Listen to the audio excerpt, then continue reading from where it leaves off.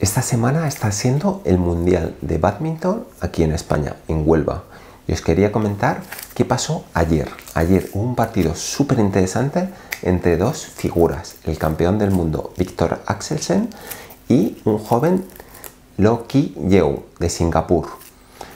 Pues en este partido estos jugadores se habían enfrentado ya varias veces. Siempre había ganado Víctor Axelsen, pero esta vez te puedes imaginar el resultado ha ganado Loki, que es increíble, es un jugador de 24 años, muy joven y que ya despuntaba maneras hace un par de años tras ganar a Lindan. Le ganó en un torneo, Lindan ya se estaba a punto de retirar, pero en un partido espectacular. ¿Y cuáles son las claves de que Loki haya ganado al campeón del mundo y sea un claro aspirante a ser campeón del mundo este año, dentro de unos días? Pues te las voy a contar ahora mismo. Primero, de una mentalidad de underdog. Cuando estás tú por debajo del campeón, siempre tienes esas ganas de, superar, de superar a los demás, de ganar, de subir un peldaño más. ¿Y eso qué te hace? Pues te hace seguir luchando, seguir entrenando a tope, persistir y ser consciente que los errores, los fallos, las derrotas te ponen un peldaño más allá a donde quieres estar. Víctor Axelsen y Loki se habían enfrentado estas últimas semanas en varias finales en los campeonatos de Indonesia y Loki ya le había ganado algún set a Víctor Axelsen.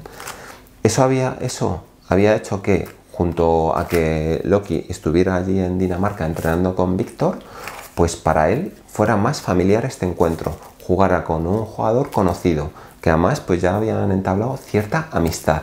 Y aunque Víctor Axelsen es digamos que el jugador más potente actualmente es un jugador de 1,90 con unos remates increíbles y que ha entrenado justo la habilidad que le cuesta más a los jugadores altos en badminton, que es ser ágil, pues Víctor Axelsen es como un gato.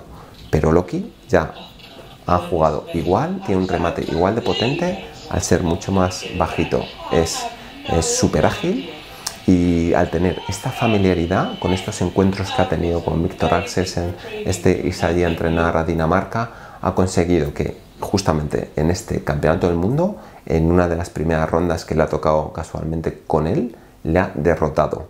¿Y cómo le ha derrotado? Pues el primer set fue, ganó Víctor Axelsen 21-14, pero en el segundo ya Loki le ganó 21-9 con una clara ventaja y en el tercer set fue todavía más decisivo, le ganó 21-6. Y Loki ahí siguió con el pie en el acelerador, luchando, tirándose, yendo a por todos los puntos, no dando un punto por perdido. Mientras que Víctor Axelsen, que no tenía esa mentalidad ya de underdog, de querer subir, porque ya estaba en un, en un estado muy alto, pues lo que hizo es pues bajar los brazos, ya cada punto que fallaba pues eh, a nivel mental se iba bajando y parecía que no tenía esas ganas de luchar.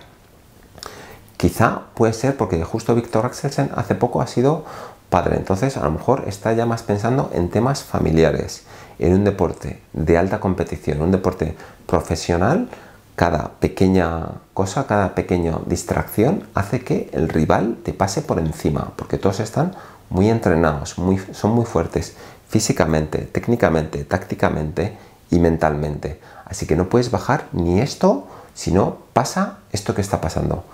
Que Loki acaba de ganar a Víctor Axelsen en el segundo y el tercer set 21-9 y 21-6. Una auténtica paliza. Yo no sé si esto le pasará a todos los daneses porque vimos hace unos años en la final también donde Anton Andersen hizo el ridículo contra Momota, perdiendo en el segundo set 21-3. ¿Y aquí qué pasó? Pues aquí pasó algo diferente, porque Momota era el campeón, pero lograba mostrar esa, esa garra, ese querer ganar, ese estar, darlo todo, ese mantener la concentración, estar en un estado de flow, de flujo, estar en tu zona óptima.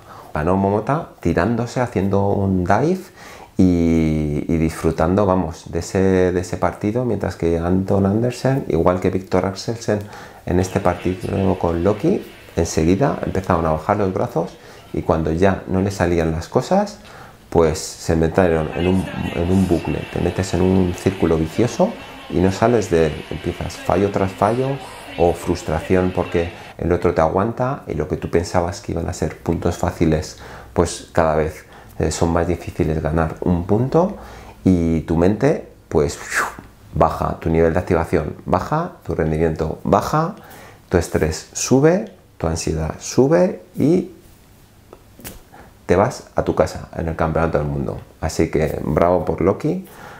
Yo ya vaticinaba que este chico iba a llegar lejos y espero verle el domingo en la final contra quien sea y estoy seguro que sí. No, llega, no, no es este año campeón del mundo, dentro de poco Loki lo será. Y si no, aquí dejo este vídeo. Pues ya sabéis, si tenéis alguna pregunta de qué os pasa a vosotros en vuestros partidos, ya sean de badminton, tenis, pádel, donde al final nuestra cabeza mm, de repente se desconecta y empezamos a perder puntos, pues nada, ya sabéis, hacerme aquí abajo, os contestaré, o si no, pues aquí estoy, para eso estamos los coaches deportivos o los especialistas en psicología deportiva. Un saludo, espero que os haya gustado este vídeo y pasar buen día, agur yogur.